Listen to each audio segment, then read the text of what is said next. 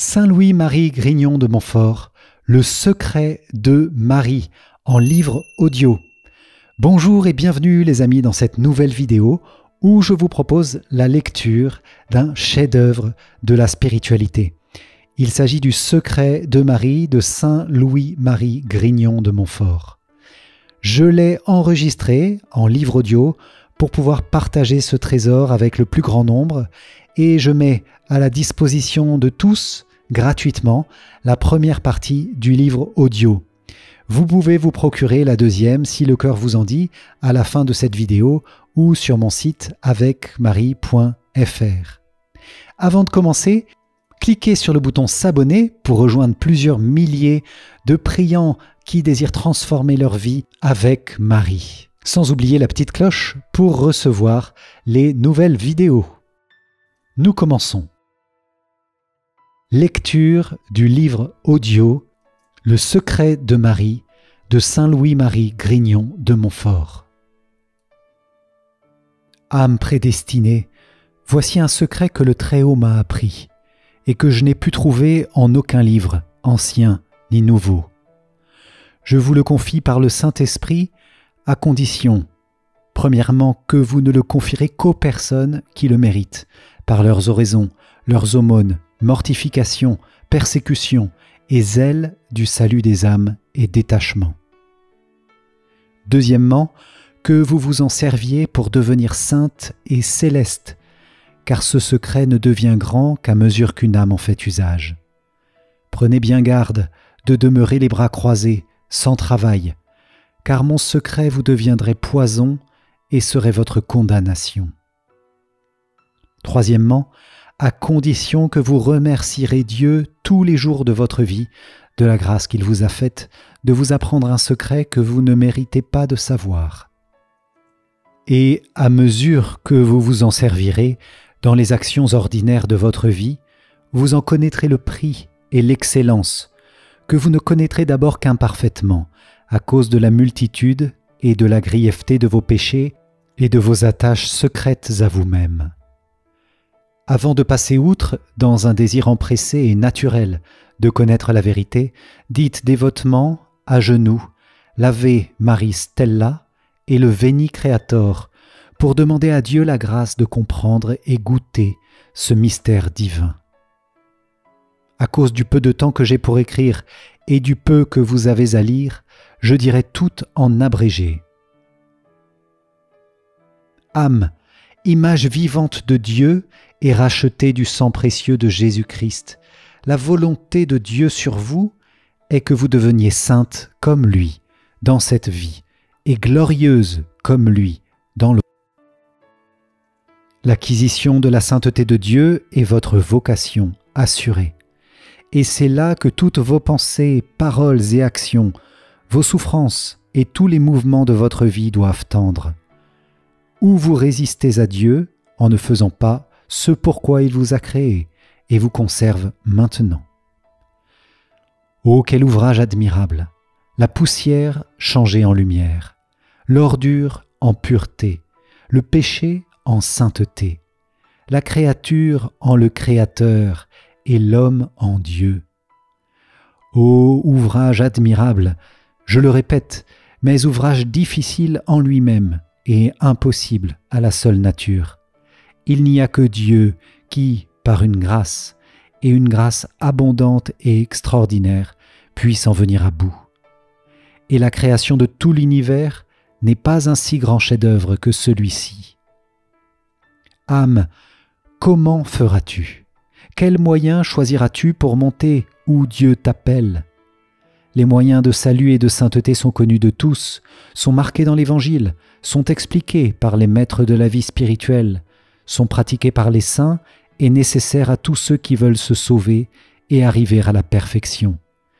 Tels sont l'humilité de cœur, l'oraison continuelle, la mortification universelle, l'abandon à la divine providence, la conformité à la volonté de Dieu. Pour pratiquer tous ces moyens de salut et de sainteté, la grâce et le secours de Dieu est absolument nécessaire. Et cette grâce est donnée à tous, plus ou moins grande, personne n'en doute. Je dis plus ou moins grande, car Dieu, quoique infiniment bon, ne donne pas sa grâce également forte à tous, quoiqu'il la donne suffisante à tous. L'âme fidèle a une grande grâce fait une grande action, et avec une faible grâce fait une petite action. Le prix et l'excellence de la grâce donnée de Dieu et suivie de l'âme fait le prix et l'excellence de nos actions.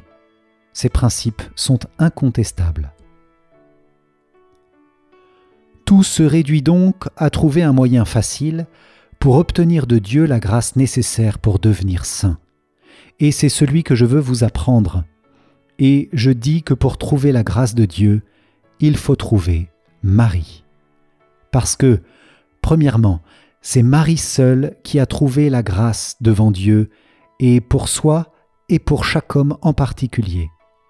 Les patriarches et les prophètes, tous les saints de l'ancienne loi, n'ont pu trouver cette grâce.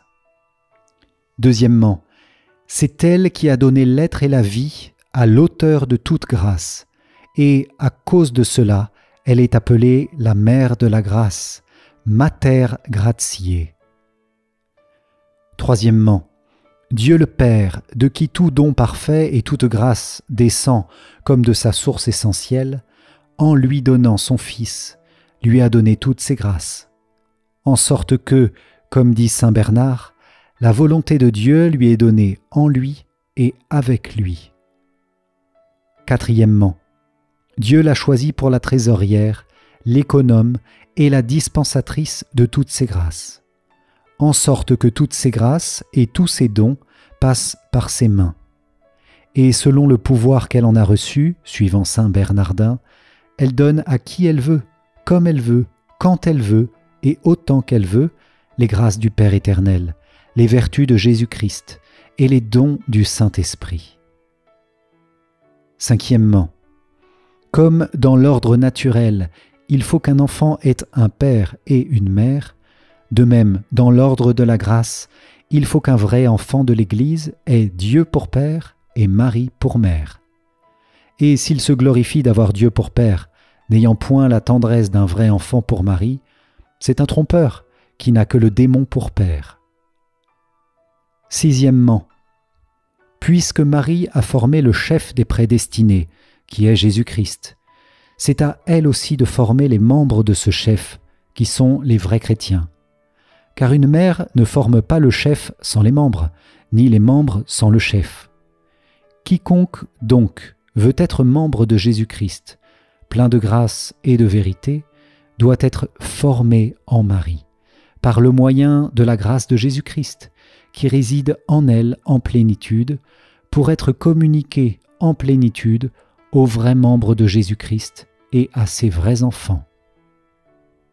Septièmement, le Saint-Esprit ayant épousé Marie et ayant produit en elle et par elle et d'elle Jésus-Christ, ce chef-d'œuvre, le Verbe incarné, comme il ne l'a jamais répudié, il continue à produire tous les jours en elle et par elle, d'une manière mystérieuse mais véritable, les prédestinés. Huitièmement, Marie a reçu de Dieu une domination particulière sur les âmes, pour les nourrir et faire croître en Dieu. Saint Augustin dit même que dans ce monde, les prédestinés sont tous enfermés dans le sein de Marie, et qu'ils ne viennent au jour que lorsque cette bonne mère les enfante à la vie éternelle. Par conséquent, comme l'enfant tire toute sa nourriture de sa mère, qui la rend proportionnée à sa faiblesse, de même les prédestinés tirent toute leur nourriture spirituelle et toute leur force de Marie. Neuvièmement, c'est à Marie que Dieu le Père a dit In Jacob in habita. Ma fille, demeurez en Jacob, c'est-à-dire dans mes prédestinés figurés par Jacob. C'est à Marie que Dieu le Fils a dit In Israël hereditare. Ma chère mère, ayez votre héritage en Israël, c'est-à-dire dans les prédestinés. Enfin, c'est à Marie que le Saint-Esprit a dit in electis meis mitte radices. Jetez, ma fidèle épouse, des racines en mes élus. Quiconque donc est élu et prédestiné à la Sainte Vierge demeurante chez soi, c'est-à-dire dans son âme, et il la laisse y jeter les racines d'une profonde humilité, d'une ardente charité et de toutes les vertus.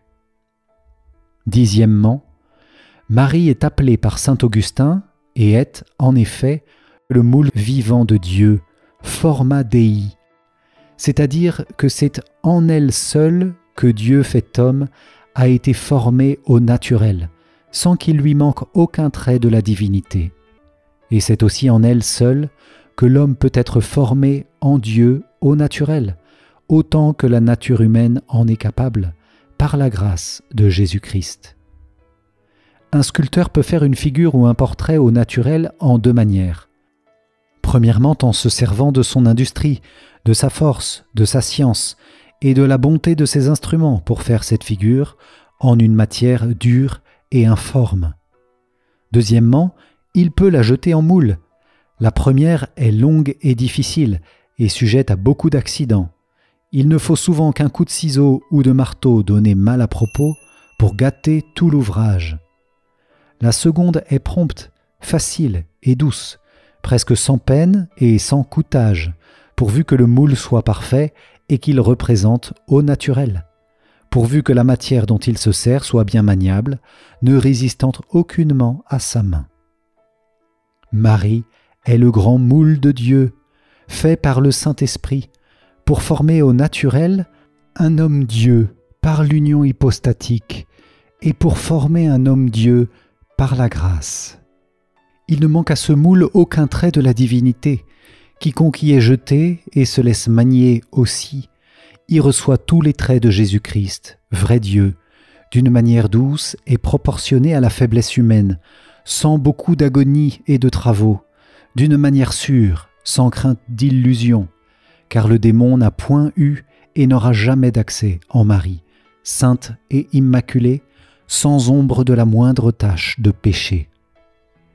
Ô chère âme, qu'il y a de différence entre une âme formée en Jésus-Christ par les voies ordinaires, de ceux qui, comme les sculpteurs, se fient en leur savoir-faire et s'appuient sur leur industrie, et entre une âme bien maniable, bien déliée, bien fondue, et qui, sans aucun appui sur elle-même, se jette en Marie, et s'y laisse manier à l'opération du Saint-Esprit. Qu'il y a de tâches, qu'il y a de défauts, qu'il y a de ténèbres, qu'il y a d'illusions, qu'il y a de naturel, qu'il y a d'humain dans la première âme, et que la seconde est pure, divine et semblable à Jésus-Christ. Il n'y a point, et il n'y aura jamais créature où Dieu soit plus grand, hors de lui-même et en lui-même, que dans la divine Marie, sans exception, ni des bienheureux, ni des chérubins, ni des plus hauts séraphins dans le paradis même. Marie est le paradis de Dieu, et son monde ineffable où le Fils de Dieu est entré pour y opérer des merveilles, pour le garder et s'y complaire. Il a fait un monde pour l'homme voyageur, c'est celui-ci. Il a fait un monde pour l'homme bienheureux, et c'est le paradis.